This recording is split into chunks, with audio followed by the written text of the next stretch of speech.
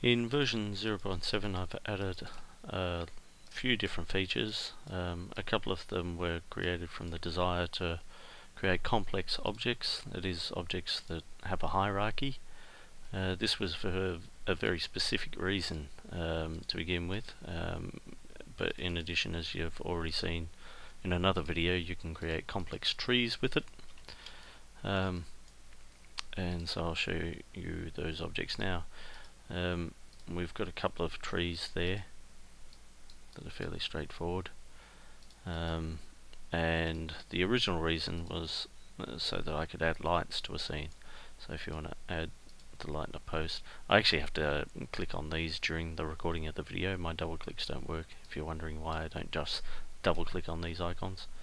Um, so you can have lights there, uh, you can position them around the track. There are limitations to the number of lights you can have in rFactor. I think it's four per um, section of road.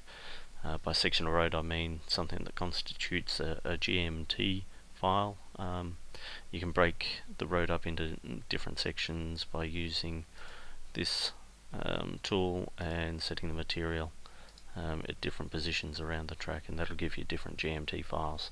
So it's only four lights per per GMT section. Um, back to the the lights here, you've got pit in, pit out. I'll just tick all of these and throw them down one by one. Um, the girder is so that you can make up your own start lights, or you can use these fully um, customized ones already, fully designed, all together with the glows and everything. Um, or you can stick that back over here on your pole and line it up better than I have there. Um, or you can put another one there. Um, and of course you'd need to rotate these so they, they looked good.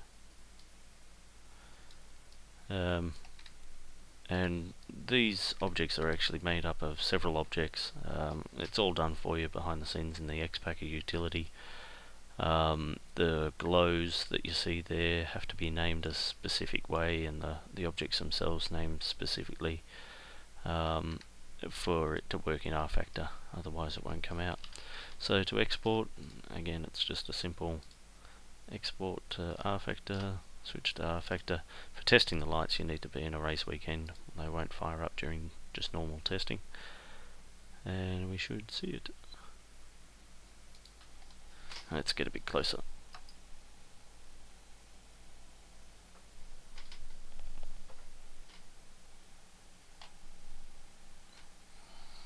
There you go. So it's um, going to make one more process of, of making a complete track um, a bit easier. And um, version 7 of Bob's Track Builder should be out uh, around the end of April, all things going well. Thanks for listening.